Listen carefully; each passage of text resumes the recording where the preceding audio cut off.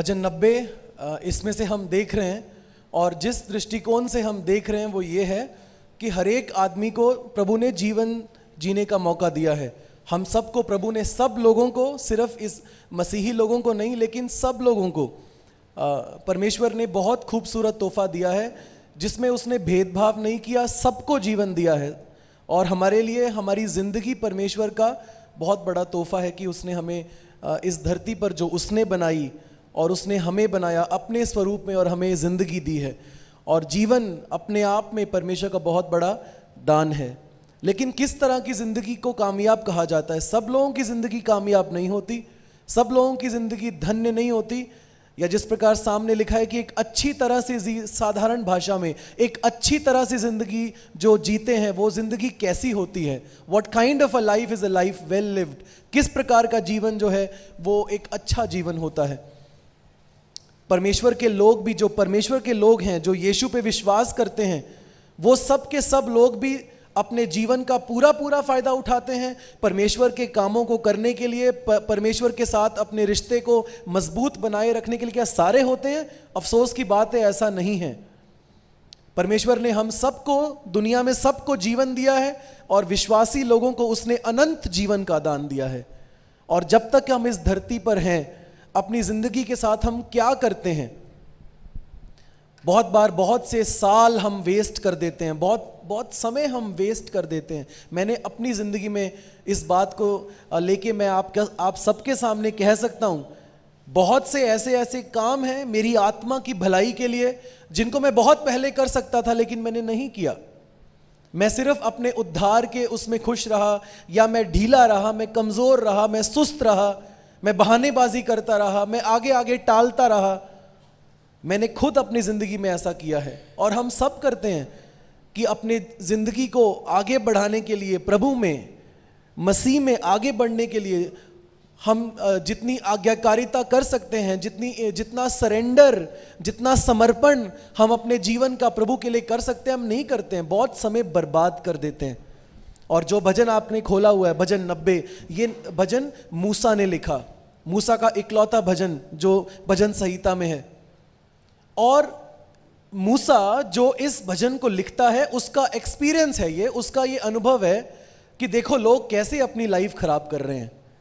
मूसा जो था, वो 20 लाख 16 से 20 लाख लोगों को लेकर के मिस्र देश की गुलामी से निकला और इसराइल देश की और कनान देश की ओर जा रहा है, जहाँ परमेश्वर ने कहा कि तू जा, वहाँ पर शहद और दूध बहता है, वहाँ पर तुम लोग जाके बसो, तुम मेरे लोग हो, मैं तुम्हारा परमेश्वर हूँ।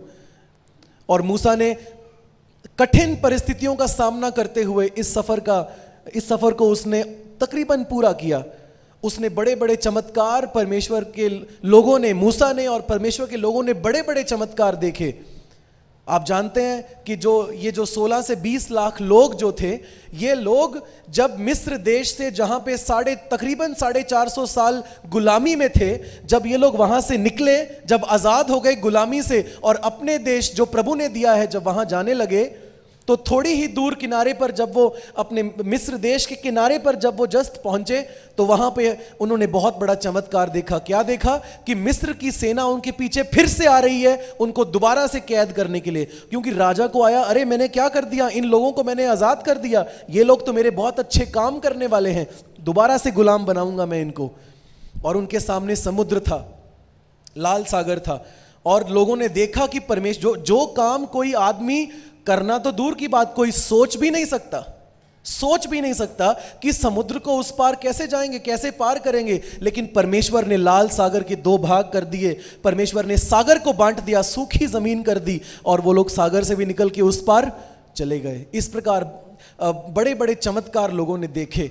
रस्ते में गए, उन इतना बड़ा चमत्कार कि उनके तन पे जो कपड़े थे वो फटे नहीं, उनके जूते खराब नहीं हुए।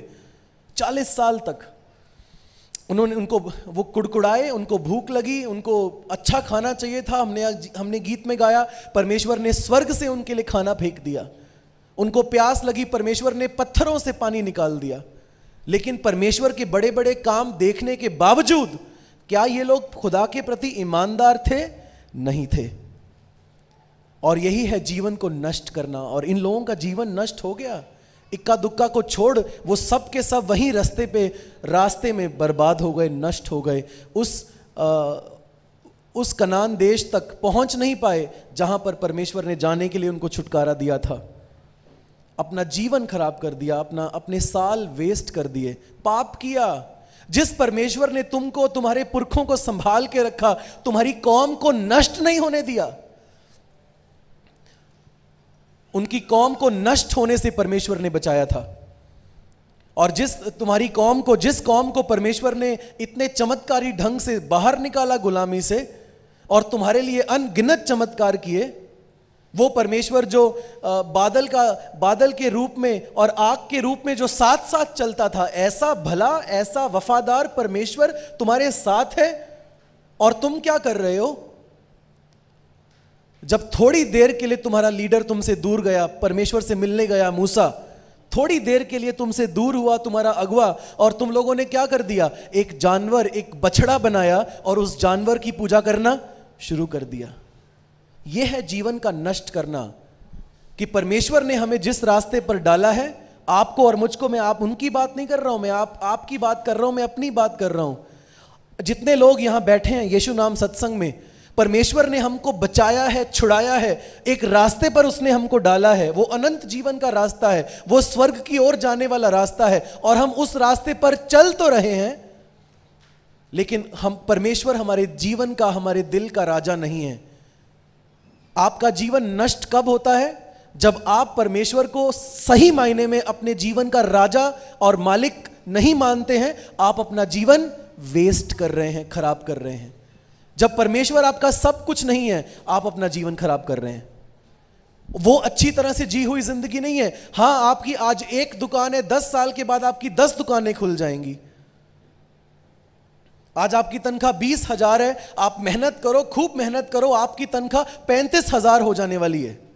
लेकिन परमेश्वर आपकी ज़िंदगी में कुछ मायने नहीं रखता तो आपका जीवन दुखदायक जीवन है आत्मिक दृष्टिकोण से। आपका जीवन कामयाब जीवन नहीं है। आपका जीवन वैसा जीवन नहीं है जो अच्छी तरह से जिया हुआ जीवन जिसे बाइबल के अनुसार कहा जाता है, आपका जीवन नहीं है। If God is not the king of your life in reality अगर सचमुच में परमेश्वर तुम्हारे जीवन का राजा नहीं है, तुमने उसको अपने जीवन के सारे क्षेत्रों का राजा और मालिक नहीं बनाया है और ऐसा जीवन जी रहे हो जिसके पास, जिसमें दुनिया की सारी चीज़ें तुम्हारे पीछे पीछे हैं, तुम्हारे पास हैं बट अगर तुम्हारे ऊपर परमेश्वर का ही हाथ नहीं है तो हम हम लोग नाकामयाब लोग कहलाए जाएँगे। और ऐसी ही कुछ बातें हैं जो इस भजन नब्बे में जो मूसा हमें सिखाता है। हमने आ, मैंने आपको बताया था कि इसके अंदर जो वचन है सत्रह वचन है एक से लेके ग्यारह वचन तक हम कुछ सच्चाइयों को सीखते हैं जो सच्चाइयाँ परमेश्वर के बारे में हैं और हमारे बारे में हैं। और बारह से लेकर सत्रह वचन तक हम देखते हैं कि ये सच्चाइयाँ ये ट्रुथ ये रियलिटी जो एक से लेके ग्यारह तक लिखी हुई है, ये मेरे जीवन को कैसे बदलती है? जब भी आप बाइबल पढ़ते हो, बाइबल सुनते हो, वचन सुनते हो, या ध्यान करते हो, आपको यह देखना कि जो मैंने सुन लिया, प्रभु का वचन मैंने सुन लिया, अब इससे मेरे जीवन में क्या असर होता है? इससे मेरा जीवन कैसे बदलता है? यह सवाल हमेशा आपसे पूछना, आप, आपको अपने आप से पूछना है। और जो सच्चाइयाँ इस भजन में हम देखते हैं, वो केवल सच्चाइयाँ बन के नहीं रह जाती हैं, यही भजन 12 से लेकर 17 वचन में यदि आप ध्यान से मेडिटेट करेंगे, आपको पता चलेगा कि आपके जीव, आपके जीवन का, आपकी पर्सनैलिटी का, आपके व्यक्तित्व का हर एक हिस्सा बदल जाता है। अभी हम देखेंगे किस प्रकार ये सच्चाइयाँ जो अभी हम उसको रिवाइज करेंगे हमने दो हफ़्ते पहले देखा था लेकिन ये जो सच्चाइयाँ हैं किस प्रकार आपके माइंड को बदल देती हैं आपके दिल को बदल देती हैं आपके परिवार को बदल देती हैं आपके से, सेवकाई के जीवन को आपकी मिनिस्ट्री को बदल देती हैं और इवन आपके ऑफ़िस का काम आपके दफ्तर आपका बिज़नेस धंधा किस प्रकार वो भी बदल सकता है इन सच्चाइयों से। परमेश्वर हमारे जीवन के सारे क्षेत्रों के साथ जुड़ा हुआ है। हालेलुया। और हम देखेंगे इन बातों को, लेकिन उसके पहले मैं आपको दोहराना चाहता हूँ, जो सच्चाइयाँ हमने देखी हैं। वचन एक और दो में हम पढ़ते हैं, सब लोग पढ़ें। एक और दो। हाँ हे प्रभु। हाँ। हे परमेश्वर, तू पीढ़ी से पीढ़ी तक हमारे लिए निवास स्थान बना है। सब लोग मेरी तरफ़ देखें। व्हाट इज़ निवास स्थान? क्या है निवास स्थान? रहने की जगह। परमेश्वर तो हमारे लिए क्या है? रहने की जगह है। एक्चुअली ध्यान से सुने सब लोग, मूसा क्यों कह रहा है रहने की जगह? क्योंकि वो लोग अभी किसमें है? एक बहुत लंबे सफ़र में है। क्या सफ़र में हमारे पास घर होता है? मूसा का और इन लाखों लोगों का जो सफ़र है, वो कितना लंबा सफ़र है? कितने घंटे का सफ़र है? ग्यारह दिन का सफ़र है, लेकिन उन लोगों ने पूरा कितने समय में किया? चालीस सालों में। लगभग अड़तीस साल हो गए हैं जिस समय मूसा इसको लिख रहा है। अड़तीस साल हो गए। सड़क पे चल रहे हैं। कोई घर नहीं है। इसलिए मूसा को अच्छे से पता है। अड़तीस साल से हम सड़क पे चल रहे हैं। निर्जन भूमि, मरुस्थल, जंगल में से होके हम निकल रहे हैं। हमारा कोई घर नहीं है। वो अच्छे से समझ गया है। परमेश्वर हमारा निवास स्थान है। सोचो अड़तीस साल तक आप सड़क में चल रहे हैं। हाले और मूसा कह क्या कहता है? तू सिर्फ़ इस अड़तीस सालों में हमारा निवास स्थान नहीं रहा, वो अपनी कहानी शुरू कहाँ से करता है? अब्राहम से। वो कहता है, परमेश्वर, अब्राहम से लेके अब तक, पीढ़ियों से पीढ़ियों तक हाले लिखा हुआ है थ्रू आउट ऑल जेनरेशन सारी पीढ़ियों में परमेश्वर, तू हमारा निवास स्थान रहा है। मूसा कह रहा है, परमेश्वर, अब्राहम से लेके अब तक तू ही हमारा आत्मिक मकान है। हाले आप आप और मैं, हम सब परमेश्वर के अधीनता में, परमेश्वर के कारण ही हम जीवित हैं।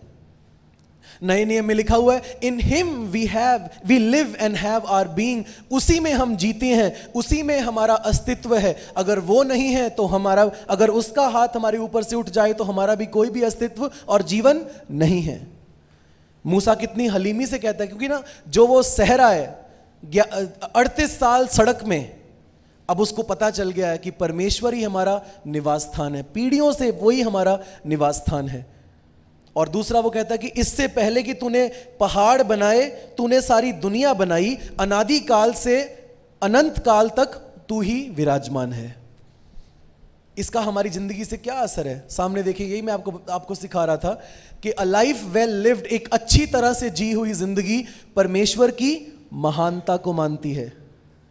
पहली बात जो आपको करना है, पहला काम जो आपको करना है और मुझे करना है, अगर मैं चाहता हूँ कि मेरा जीवन खुदा की नज़र में कामयाब कहलाए अगर मेरा जीवन अच्छी तरह से जिया हुआ जीवन हो so the first thing I do is I acknowledge that God is great परमेश्वर महान है। मैं परमेश्वर को खोजता हूँ, परमेश्वर की महानता को मैं पहले रखता हूँ अपने जीवन में।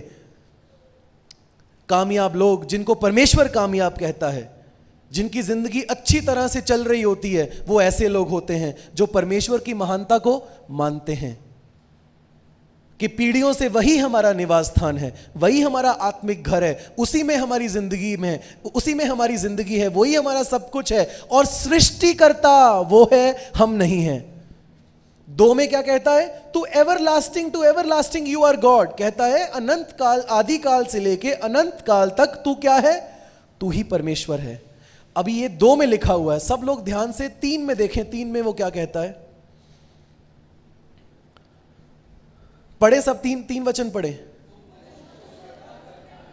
हाँ? आप क्या आपने अंतर देखा? दूसरे वचन में परमेश्वर की उम्र क्या है? दूसरे वच, भजन संहिता नब्बे के दो में परमेश्वर की उम्र कितनी है? क्या लिखा है? आदि काल से अनंत काल तक। यह है परमेश्वर लेकिन मनुष्य का हमारे बारे में क्या कहता है? कि परमेश्वर मनुष्य को क्या करता है? मिट्टी है और मिट्टी में मिला देता है। इसीलिए यही है, परमेश्वर महान है, हम नहीं हैं। वो गॉड है, हम नहीं हैं। वो सदा तक रहेगा, हम नहीं रहेंगे। वो राजा है, हम नहीं हैं। वो सृष्टि करता है, हम नहीं हैं।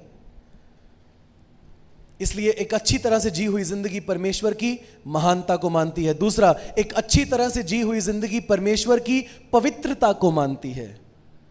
एक से लेके छह तक परमेश्वर की महानता के बारे में लिखा हुआ है और हमारे छोटेपन के बारे में लिखा हुआ है। परमेश्वर महान, हम छोटे। वो सब कुछ, हम कुछ नहीं। एक से लेके छह तक, लेकिन सात में सब लोग मिलकर ऊँची आवाज़ से पढ़े। सात में वो क्या कहता है? हम तेरे क्रोध से नाश हुए। सातवें वचन में सब लोग सुन रहे हैं मुझे?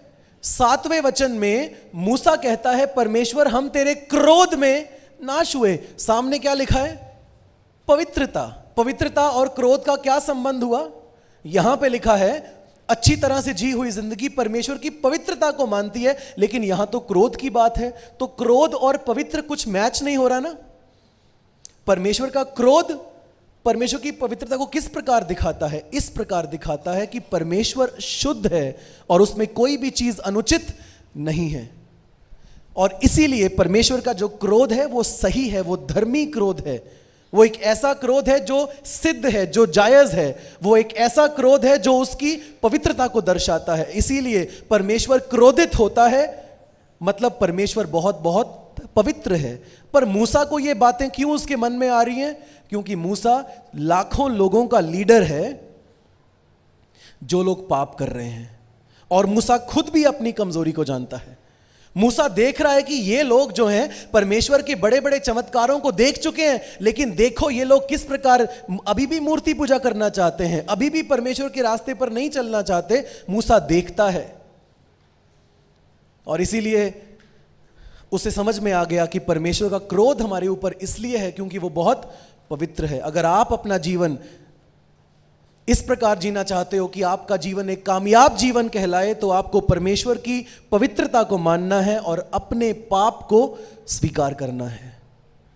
बहुत बार हमें आ, हमारे अंदर जो अहंकार है जो घमंड है जो किसी काम का नहीं है जो किसी वैल्यू नहीं रखता जो हमें कहीं नहीं पहुंचाएगा सिवाय नरक के वही हमें दूसरों के सामने और परमेश्वर के सामने अपनी गलतियाँ मानने से रोकता है। लेकिन अगर कोई बुद्धिमान आदमी है वो जब प्रभु के दर्शन कर लेता है तो अपने पापों को मान लेता है। यशाया के बारे में हम पढ़ते हैं। यशाया छह में लिखा हुआ है, जब यशाया को दर्शन हुए परमेश्वर परमेश्वर के, उसको एग्जैक्टली exactly ये दो बातें समझ में आ गई। यशाया को पहली बात क्या समझ में आई? यशाया क्या लिखता है? जिस साल उजिया राजा मरा, मैंने परमेश्वर को ऊँचे पर विराजमान देखा। मतलब जब उसको खुदा के दर्शन हुए तो उसके मुँह से क्या निकल रहा है? ऊँचे पर। और ऊँचे पर क्या? विराजमान। मतलब पहली बात जो यशाया को समझ में आ गई है, वो यही बात है कि ये परमेश्वर बहुत महान है। और दूसरी बात जो उसको समझ में आई, वो यही थी जो सामने लिखी हुई है कि परमेश्वर बहुत पवित्र है। इसीलिए जब यशाया परमेश्वर को ऊँचे पे विराजमान देखता है, उसके बाद वो अपने बारे में क्या कहता है? हाय, मैं नष्ट हुआ मैं अशुद्ध होठों वाला आदमी हूँ और अशुद्ध होठों वाले लोगों के बीच में रहता हूँ। दो सबूत आपकी ज़िंदगी में ज़रूर होंगे। अगर आप खुदा के नज़दीक हैं, अगर आप परमेश्वर के पास रहने वाले लोग हैं, अगर आप सचमुच परमेश्वर का ज्ञान रखते हैं, ये दो सबूत आपकी ज़िंदगी में होंगे। आपका बहुत बड़ा चर्च होगा, ये सबूत नहीं है। आप बहुत बड़े गायक होंगे, बहुत बड़े प्रचारक होंगे यह इस बात का सबूत नहीं है कि आप खुदा को जानते हैं। दो बातें हैं जो आपके जीवन में सबूत पेश करेंगी कि आप खुदा को जानते हैं और वो ये है कि आप परमेश्वर की पवित्रता को जानेंगे और उसकी महानता को जानेंगे। अब आप सोचें, आपकी ज़िंदगी में परमेश्वर कौन है? Who is God for you क्या सोचते हैं कि परमेश्वर कौन है? आपके अनुसार क्या है परमेश्वर? सिर्फ़ एक स्वर्ग में बैठा हुआ एक बूढ़ा सा आदमी जो हमें हमेशा आशीर्वाद देता रहता है। क्या यही समझ रखा है हमने परमेश्वर को? क्या परमेश्वर सचमुच हमारे, हमारी नज़रों में, हमारी आत्मा में, हमारी समझ में, क्या परमेश्वर है महान? इतना महान कि उस तक कोई पहुँच नहीं सकता और उसके ऊपर कोई है नहीं। क्या इस प्रकार हम खुदा को महान समझते हैं अपनी लाइफ में? और क्या हम जानते हैं कि वो बहुत पवित्र है? और हमारा पाप हमें परमेश्वर से जुदा करता है, अलग करता है। इन बातों पे गौर करना है। कामयाब जीवन परमेश्वर को जानने वाला जीवन होता है। कामयाब जीवन वो नहीं होता, या सिर्फ़ कामयाब, मैं तो कहूँगा कामयाब जीवन वो नहीं होता जिसमें आपने बहुत कुछ कर लिया, बहुत कुछ जीत लिया, दस चर्च खोल दिए आपने, और पंद्रह पास्टर ट्रेन कर दिए आपने, और बहुत सारे प्रवचन कर दिए आपने और आप दिन रात थकते नहीं खुदा का काम करते हुए। वो सब कुछ बाद में आता है। यशाया ने भी किया खुदा का काम, लेकिन पहले उसने परमेश्वर की महानता को देखा, पवित्रता को देखा, अपने तुच्छपन को समझा, अपने पाप को माना। फिर उसने कहा, मैं जाके सेवा करूँगा। परमेश्वर ने उसे कहा, जा। इसलिए आपके काम, आपकी सेवा जो आप चर्च में भी सेवा करते हैं, जो आप खुदा के राज्य में सेवा करते हैं, उन सब की जगह बाद में आती है और उनकी एक उचित जगह है। लेकिन आपकी ज़िंदगी में पहला क्या होना चाहिए? परमेश्वर के साथ आपका रिश्ता हर रोज नया होना चाहिए। इसलिए यही है खुदा की खोज करना, यही है खुदा के पीछे पीछे चलना। कि कहीं संसार और संसारिकता और संसार जिन जिन विचार धारा पे चलता है, कहीं वो हमें परमेश्वर से दूर नहीं कर दे। इसलिए एक अच्छी तरह से जी हुई ज़िंदगी परमेश्वर की महानता को मानती है, एक अच्छी तरह से जी हुई ज़िंदगी परमेश्वर की पवित्रता को मानती है, और अगर ये दो चीज़ें आपके जीवन में हैं तो ये होगा कि एक अच्छी तरह से जी हुई ज़िंदगी नम्रता दिखाती है।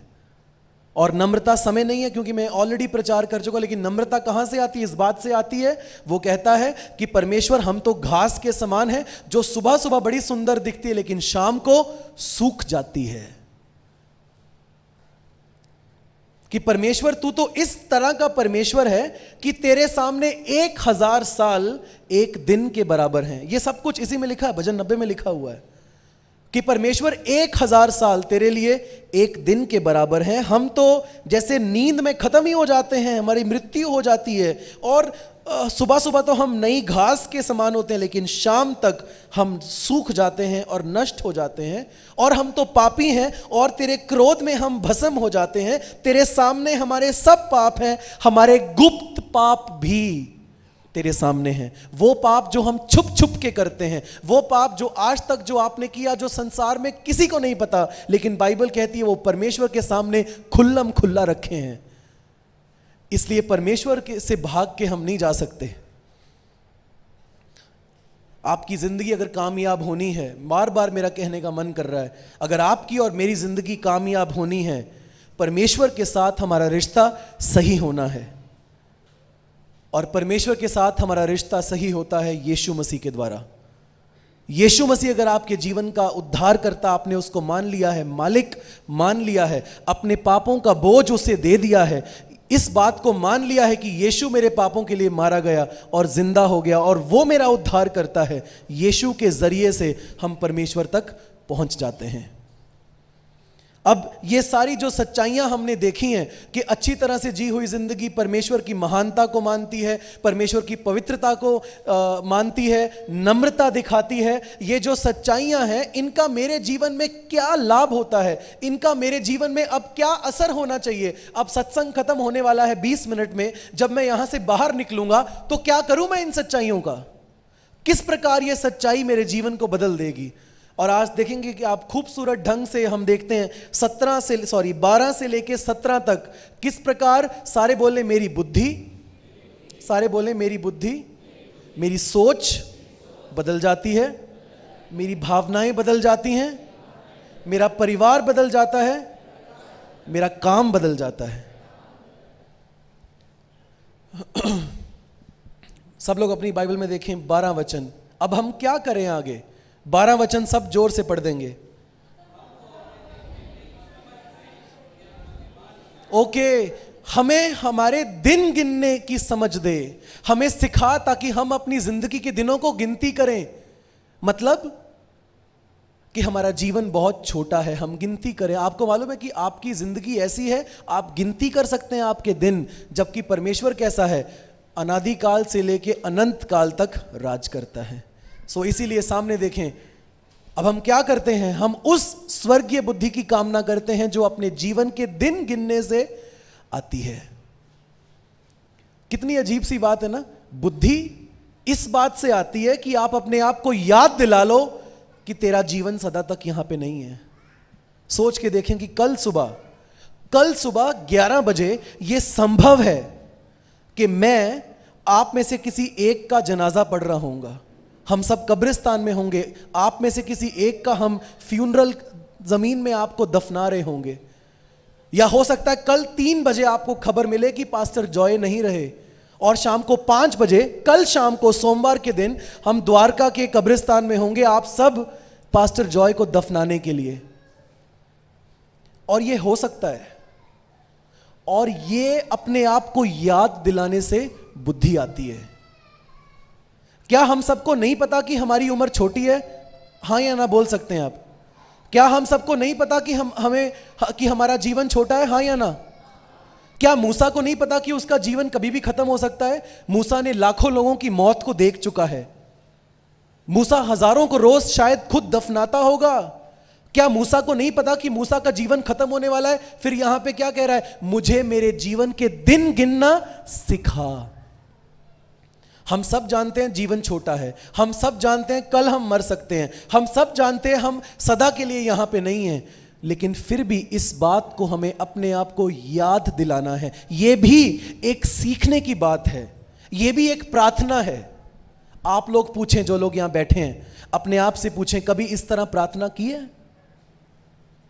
जब तक मैंने इसको पढ़ा, मैंने इस प्रकार प्रार्थना नहीं की थी। मूसा की प्रार्थना है, परमेश्वर मुझे मेरे दिन गिनना सिखा। यहाँ से बुद्धि आती है। परमेश्वर का डर मानने, सुलेमान ने कहा, परमेश्वर का डर मानने से बुद्धि की शुरुआत, यहाँ से शुरुआत होती है बुद्धि की, कि परमेश्वर सदा सदा तक जीवित रहेगा, मैं नहीं। वो महान है, मैं नहीं। वो सृष्टि करता है, मैं नहीं। वो शुद्ध और अति पवित्र है, मैं नहीं। इस धरती पर और स्वर्ग में वो हमेशा तक राज करेगा, मैं नहीं। यहाँ से बुद्धि आती है। It's amazing this can be the source of wisdom ये सच्चाई आपको और मुझको बुद्धिमान बना सकती है। हम उस स्वर्गीय बुद्धि की कामना करते हैं जो अपने जीवन के दिन गिनने से आती है, जो इस बात को याद करने से आती है कि परमेश्वर, सचमुच मेरा जीवन यहाँ बहुत छोटा है। जब तक मैं हूँ परमेश्वर, मुझे तेरा बना के रखना। यह है हमारा मन, बुद्धि मिल जाती है हमें। जब हम परमेश्वर के सामने नम्र हो जाते हैं, दीन हो जाते हैं, उसे महानता का दर्जा देते हैं, उसे पवित्र कहते हैं, उसको आगे बढ़ाते हैं परमेश्वर को। और दूसरा, हम उस आंतरिक तृप्ति की कामना करते हैं जो परमेश्वर के अनंत प्रेम से आती है। मैं चाहता हूँ कि आप सब चौदह वचन पढ़ें। एवरीबडी सब लोग ज़ोर से पढ़ सकते हैं प्लीज़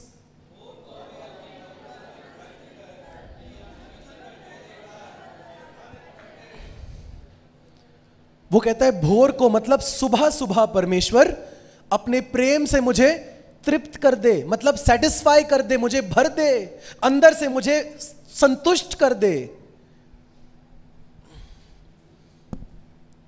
क्या यह बात सच नहीं है कि आप लोग और मैं, हम लोग तृप्ति चाहते हैं चीज़ों में? हमें लगता है कि हमें ये चीज़ मिल जाए, हम संतुष्ट हो जाएँगे। हमें लगता है कि मुझे ये चीज़ मिल जाए, मैं संतुष्ट हो जाऊँगा। मेरी शादी हो जाए, मैं संतुष्ट हो जाऊँगा। मेरे बच्चे हो जाए, मैं संतुष्ट हो जाऊँगा। मेरे कर्जे सारे भर दिए जाए, मैं मैं संतुष्ट हो जाऊँगा। मेरी थोड़ी तनख्वाह बढ़ जाए, मैं संतुष्ट हो जाऊँगा। मेरी प्रमोशन हो जाए, मैं संतुष्ट हो जाऊँगा। मेरा चर्च बढ़ जाए, मैं संतुष्ट हो जाऊँगा। हम सब अपने जीवन की उपलब्धियों में संतुष्टि ढूंढते हैं। अपने जीवन की कामयाबी में, अपने इस संसारिक कामयाबी में, संसारिक उपलब्धियों में हम हम संतुष्टि को ढूंढते हैं, आराम ढूंढते हैं। लेकिन जब ये चीज़ें मिल जाते हैं, जब ये सारी चीज़ों को मैं हासिल कर लेता हूँ तो भी जब मैं रात को अपने तकिए पर सर रखता हूँ, संतुष्टि तो महसूस नहीं करता हूँ। क्योंकि ये सच्चाई है, संसार की चीज़ें कभी भी हमें संतुष्ट नहीं कर सकती।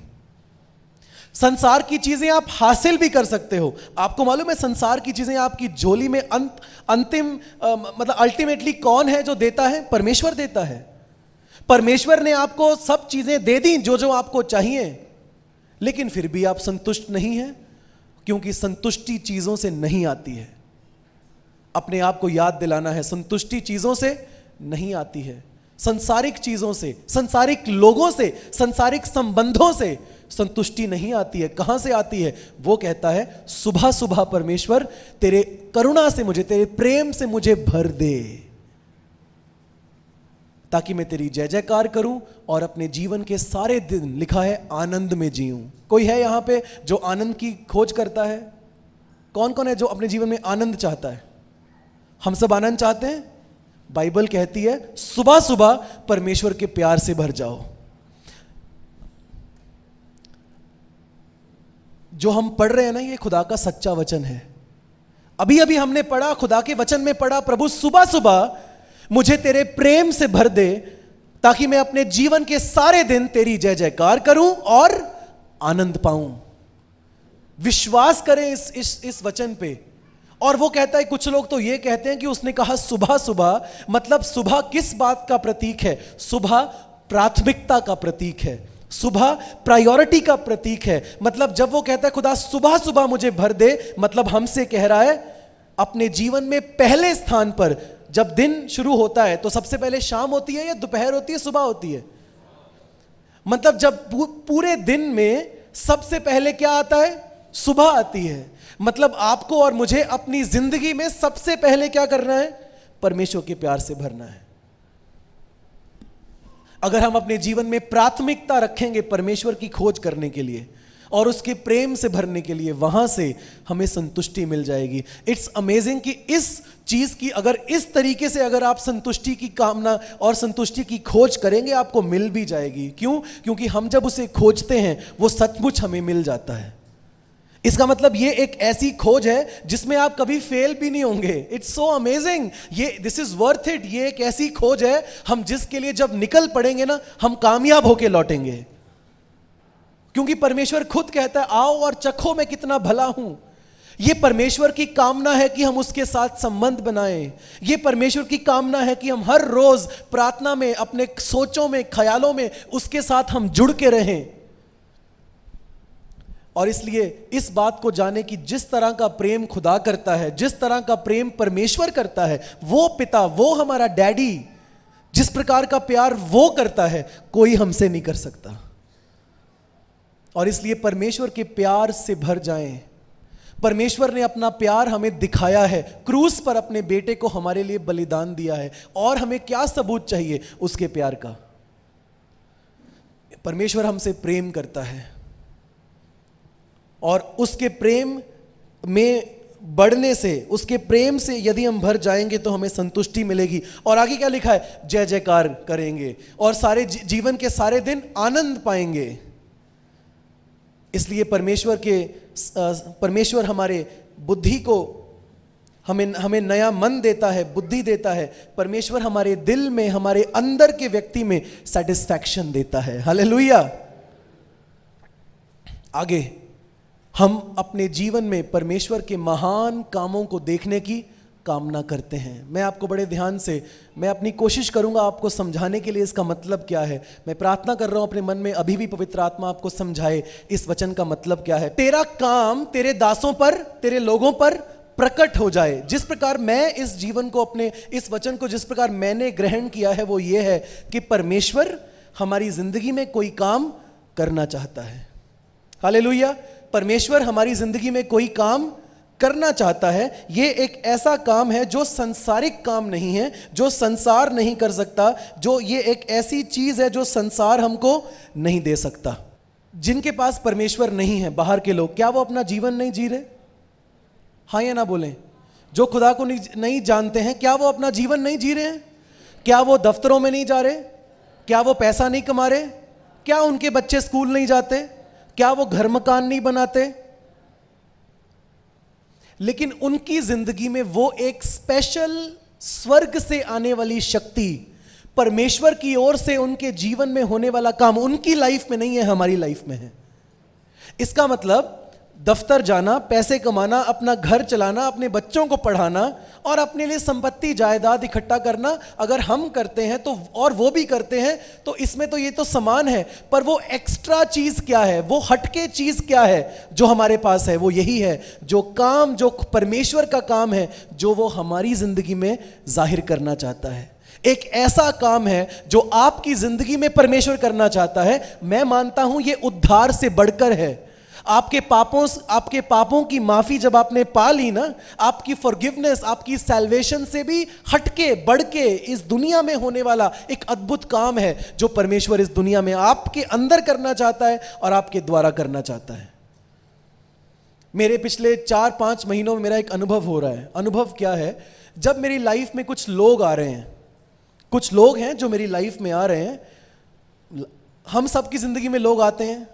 हम और कुछ लोग मिलनसार हैं, कुछ लोगों को समय लगता है बट हम लोगों से मिलते हैं हमारी ज़िंदगी में। लेकिन मैं एक चीज़ को अनुभव कर रहा हूँ। पिछले चार पाँच महीनों से मेरी ज़िंदगी में जो लोग आ रहे हैं, मुझे अंदर से ऐसा लगता है, मेरी आत्मा कहती है, जॉय, प्रार्थना कर यह व्यक्ति तेरी ज़िंदगी में क्यों आया है? कोई ऐसी चीज़ है जो परमेश्वर तेरे द्वारा उसकी ज़िंदगी में करना चाहता है, या कोई ऐसी चीज़ है जो उसके द्वारा परमेश्वर तेरी ज़िंदगी में करना चाहता है? और आजकल एक है मेरी आदत सी बन गई है कि जब कोई व्यक्ति मेरी लाइफ में आया, मैं प्रार्थना करता हूँ, परमेश्वर, इस व्यक्ति के साथ तूने मुझे क्यों मिलाया? प्रभु, तू कुछ तो करने वाला है जो मेरी समझ में नहीं है, लेकिन जो तू करना चाहता है, तू कर। और मैं देख रहा हूँ, जब ऐसा मैं कर रहा हूँ तो कुछ ऐसा निकल के आता है जो परमेश्वर का काम है। जो संसार नहीं कर सकता, जो मैं नहीं कर सकता, जो वो नहीं कर सकता, लेकिन परमेश्वर का आत्मा कर सकता है। मैं आपको यह कहना चाहता हूँ, कुछ ना कुछ एक्स्ट्रा हमारा जो परमेश्वर है, वो बहुत अद्भुत परमेश्वर है। तो जो अगर वो अद्भुत परमेश्वर है तो आपके जीवन में कुछ अद्भुत काम उसका होना चाहिए। कुछ अद्भुत, कुछ हटके, कुछ चमत्कारी, कुछ विशेष ऐसा कोई काम है जो परमेश्वर आपकी ज़िंदगी में करना चाहता है? जब वो कहता है Lord let your deeds be known to me reveal your deeds to me reveal your mind to me जब आप खुदा के साथ बैठते हैं ना, जब आप प्रार्थना करते हैं, आप खुदा को बोल सकते हैं, परमेश्वर, तेरा मन मेरे सामने खोल दे, परमेश्वर. वो बातें जो संसार मुझे नहीं सिखा सकता, वो बातें जो मैं अपने खुद की समझ से नहीं कर सकता, तेरा आत्मा मुझे नई नई बातों को खोल दे। अपने साथ जोड़ ले प्रभु, और तेरा एजेंडा मुझे बता, तेरा मकसद मुझे बता। खुदा, तू गुड़गांव शहर में क्या कर रहा है? मुझे उसका हिस्सा बना, परमेश्वर। जो तू प्लानिंग कर रहा है, खुदा, मुझे उसका एक पार्ट बना। तू मुझे किस प्रकार, इस तरह की प्रार्थना करना। यह है, परमेश्वर के महान कामों को देखने की कामना करते हैं। अपने जीवन में, मेरी लाइफ में, परमेश्वर, कुछ कर। मैं अपने जीवन को, अपने जीवन को सिर्फ़ अपनी नौकरी तक सीमित नहीं रखना चाहता हूँ, परमेश्वर। किस प्रकार मैं तेरी महिमा करूँ? अपनी नौकरी के द्वारा। क्या है परमेश्वर तेरा मकसद कि तू इस व्यक्ति को तूने मेरे करीब लेके आ रहा है? क्या है तेरा मकसद कि तूने इस व्यक्ति को मेरा दोस्त बनाया? क्या है तेरा मकसद कि तूने मेरे सत्संग में, तूने मुझे सेवादार बनाया है? या तू मुझे इस चर्च में लेके आया है? या तू मुझे ये चीज़ क्या, जब मैं खुदा वचन पढ़ता हूँ तो इसको मैं किस प्रकार लागू करूँ? ये सारी बातें, ये आपकी प्रार्थना होनी चाहिए। Believe it, God wants to have a special relationship with you. परमेश्वर आपके साथ एक स्पेशल संबंध रखना चाहता है। परमेश्वर आपकी ज़िंदगी में काम करना चाहता है। परमेश्वर आपको अपना साथी बनाना चाहता है। परमेश्वर आपको अपने कामों के लिए एक मज़बूत सेवादार और एक सहकर्मी बनाना चाहता है। परमेश्वर आपको एक आसमानी और बड़े बड़े और अद्भुत और आत्मिक कामों का साझेदार बनाना चाहता है आपको। इस प्रकार की बड़ी बड़ी प्रार्थनाएँ हमें करनी है कि परमेश्वर, तू मुझे इस्तेमाल कर। मूसा तो प्रार्थना कर रहा है, हम, हमें भी प्रार्थना करेंगे what are you up to do something in my life Lord and reveal yourself to me तो कुछ कर मेरी ज़िंदगी में परमेश्वर, कुछ अद्भुत कर। तू तो अद्भुत परमेश्वर है। मुझे नहीं साधारण जीवन जीना पिता। तू तो असाधारण है। तू चमत्कारी है। तू अद्भुत है। तू महान है। तू विशाल है। मैं तेरा बच्चा हूँ। मेरे जीवन को अपने कामों के लिए इस्तेमाल कर। मैं अपना जीवन नष्ट नहीं करना चाहता हूँ। जो तेरी मर्ज़ी है, मेरी ज़िंदगी में पूरी कर। जो तू चाहता है कि मैं करूँ, मुझे बता कि मैं क्या करूँ। और वो काम करने के लिए मुझे शक्ति दे, मुझे बुद्धि दे, मुझे मदद दे, मुझे सहायता दे। तू मेरी मदद कर जो तू मुझसे काम करवाना चाहता है। कामना करें, इस प्रकार की प्रार्थना करें। आए मैं आपको कहना चाहता हूँ, जब आप इस प्रकार की प्रार्थना करेंगे, आप उत्तर में परमेश्वर की ओर से कुछ ना कुछ होता हुआ पाएँगे। आपको लगेगा कि हाँ मैं, मैंने प्रार्थना की है।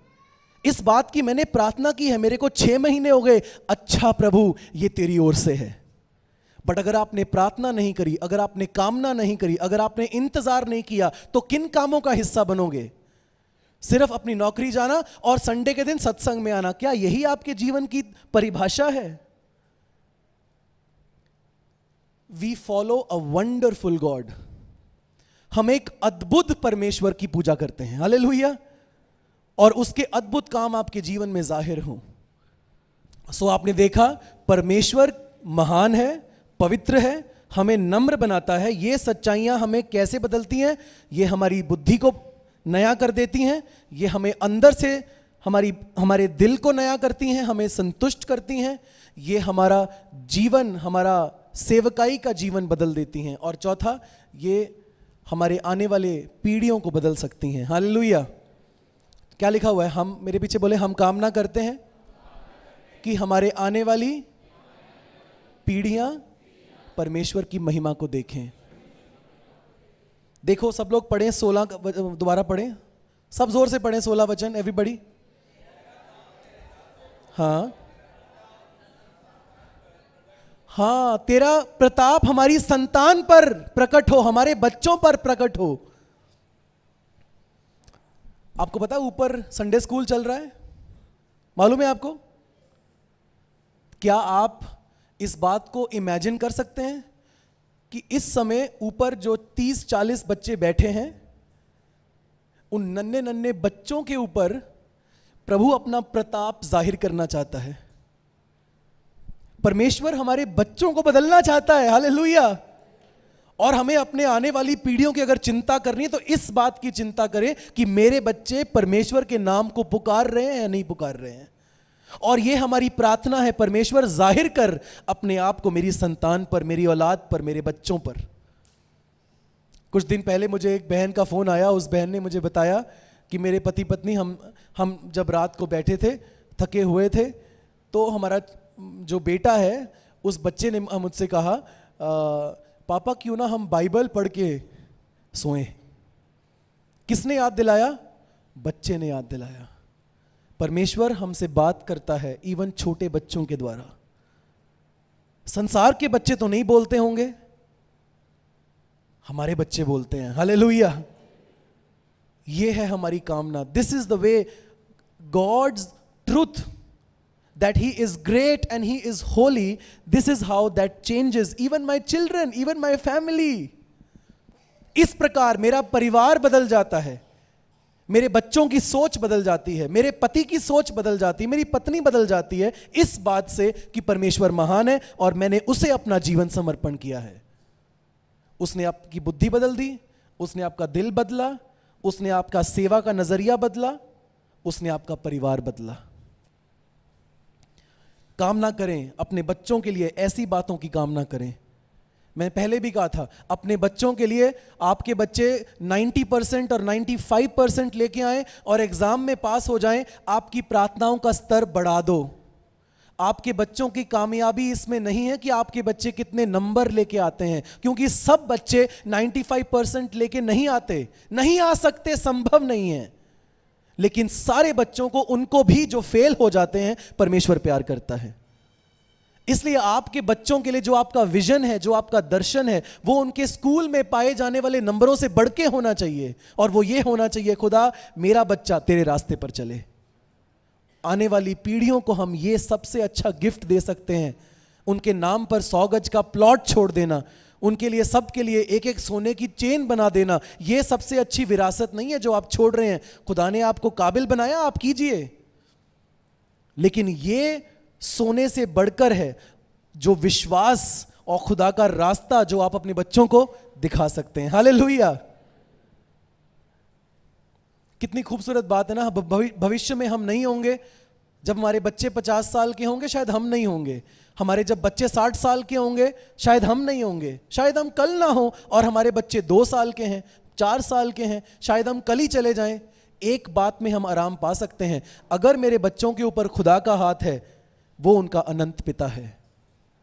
इसलिए आने वाली पीढ़ियों, आने वाली पीढ़ियाँ भी परमेश्वर के प्रताप लव दैट वर्ड कितना अच्छा शब्द है कि खुदा तेरा प्रताप उनके ऊपर दिखा। इसलिए आप कभी भी अनाथ नहीं है, आपके बच्चे कभी अनाथ नहीं है, मैं अनाथ नहीं हूँ। हाले परमेश्वर है हमारा सब कुछ। हमारी आने वाली पीढ़ी, आने वाली पीढ़ियाँ धन्य हैं, क्योंकि हम उनको खुदा का रास्ता बताते हैं। बट क्या हम बताते हैं? वो सवाल आपके लिए है। इसलिए अपने बच्चों के लिए कामना करो कि आपके बच्चे परमेश्वर की खोज करें। आपके बच्चों के मुँह पर खुदा उनकी ज़ुबान पर खुदा का नाम हो। हमने देखा किस प्रकार परमेश्वर की सच्चाई बदल देती है। सबसे पहले सारे बोलें किसको हमारी? सारे बोलें किसको हमारी? बुद्धि को हमारे दिल को और हमारे आ, काम हमारे सेवकाई के जीवन को और किसको? हमारे बच्चों के जीवन को और अंत में किस प्रकार परमेश्वर की, के साथ अगर हम जुड़े हुए हैं? परमेश्वर पवित्र है, धन्य है, अनंत है। ये सच्चाई अगर हम जानते हैं तो हमारे, हमारा काम भी वो हमें आशीष देता है। जो भी हम काम कर, जहाँ पे भी हम नौकरी करते हैं, जो भी हम अपने हाथों से प्लानिंग करते हैं बिज़नेस करते हैं, नौकरी करते हैं ओवर टाइम करते हैं, या हम अपनी सेवकाई में जो कुछ प्लानिंग करते हैं, उसको भी परमेश्वर आशीष देना चाहता है। खत्म पढ़ के खत्म करेंगे सत्रह वचन पढ़ें। हाँ। ओके okay, इंग्लिश में लिखा हुआ है परमेश्वर का फेवर। मतलब उसका फे, सारे बोलो फेवर। आप समझते हैं फेवर क्या होता है? मतलब प्रभु ये काम कर दे मेरे लिए। वो है फेवर जिसको हिंदी में मनोहरता कहा गया है। कि परमेश्वर ये काम कर मेरे लिए। कौन सा काम कर? पढ़े आगे कौन सा काम करना है प्रभु को? हाँ तू हमारे हाथों का काम हमारे लिए दृढ़ कर और हाँ मतलब हमारे काम, हाथों के जो काम है, हमारा जो बिज़नेस है, जो नौकरी है, प्रभु मेरे हाथ के काम को आशीष दे। जो मैं अपने ऑफ़िस में जाके जो मेहनत करता हूँ, जो काम करता हूँ, जो बिज़नेस करता हूँ, उस पर तू आशीष दे। मेरी कमाई पर तेरी आशीष हो। और खुदा देता है हमें आशीष। लेकिन मैं यहाँ पे एक बात कहना चाहता हूँ। यहाँ पे लिखा है, परमेश्वर मेरे हाथों के काम को आशीष दे। पर यहाँ पे एक सवाल है, क्या आपके हाथ मेहनत कर रहे हैं? आशीष तो मांग रहे हैं खुदा से। खुदा मेरे हाथों के काम को आशीष दे। मतलब मेरी तनख्वाह में तेरी आशीष हो, मेरे दफ्तर में तेरी आशीष हो, मेरे बिज़नेस पे तेरी आशीष हो। बट उसके पहले जो सवाल है, क्या हम अपने काम को धन्यवाद के साथ करते हैं? क्या हम अपनी नौकरियों के लिए धन्यवादित हैं? या हम कुड़कुड़ाते हैं अपनी जॉब को लेके और अपने बिज़नेस को लेके? कुछ लोगों को लगता है कि हम अपनी नौकरी की वजह से परमेश्वर की आराधना नहीं कर सकते, और यह बहुत गलत सोच है, क्योंकि बाइबल सिखाती है, काम करो। यीशु के लोग थे थेसलोनिका नगर में, जिनको लगा यीशु तो आने वाला है तो क्या करते हैं? हमारे पास्टर ने कहा था, यीशु जल्दी आने वाला, नौकरियाँ छोड़ के बैठ गए। तो पॉलुस उनको लिखता है, पत्री लिखता है, पॉलुस और पॉलुस समझाता है, तुम में से कईयों ने यह सोचकर कि यीशु जल्दी आने वाला है, अपनी जॉब छोड़ दी है। और अब तुम दूसरों पर निर्भर होना चाहते हो। तो पॉलुस उनको कहता है, नौकरी पकड़ो, जॉब करो, काम करो। मैं आपको कहना चाहता हूँ, परमेश्वर काम को आशीष देता है, काम करना परमेश्वर की ओर से है। काम करना, ऑफ़िस जाना, बिज़नेस करना मतलब कुछ ना कुछ करना अपने हाथों से, अपनी बुद्धि का इस्तेमाल करके काम करना, ऑफ़िस जाना, नौकरी करना, सारे सुन ले ध्यान से, ये परमेश्वर की ओर से है। और आपका काम परमेश्वर और आपके बीच में बाधा नहीं बन सकता, नहीं बनना चाहिए, नहीं बन सकता, क्योंकि काम परमेश्वर की ओर से है। परमेश्वर ने काम को बनाया, जब उसने मनुष्य को बनाया तो उसने कहा, अब तू मौज मस्ती कर। जब परमेश्वर ने आदम को बनाया तो कहा क्या कर? अदन की वाटिका का ध्यान रख। इसलिए काम परमेश्वर की ओर से है। तभी तो प्रार्थना करेंगे। यहाँ पर क्या प्रार्थना हो रही है? प्रभु, मेरे हाथों के काम को आशीष दे। अरे, कहाँ से आशीष दे? तुम काम तो करते नहीं हो। सो डू नॉट व्यू आप ना अपने बिज़नेस को या अपनी जॉब को सेकंड ग्रेड समझ के चलते हैं बहुत लोग कि पास्टर का काम करना बहुत बड़ी बात है, नौकरी करना तो उससे लो लेवल की बात है और यह सोच ठीक नहीं है। अगर काम परमेश्वर ने ठहराया है, आप अपनी नौकरी के ज़रिए, क्योंकि बाइबल में लिखा हुआ कुलूसियों में पॉलुस फिर सिखाता है, थेसलोनियंस में वो क्या सिखाता है? काम करो, नौकरी पकड़ो, दूसरों पर निर्भर ना रहो, मेहनत करो और क्या कहता है? तुम्हारे हाथों की सारी चीज़ तुम्हारे जीवन की सारी जरूरतें पूरी हो जाएँगी, पहली बात। दूसरी बात वो कहता है, तुम दूसरों को भी देने के लायक बन जाओगे।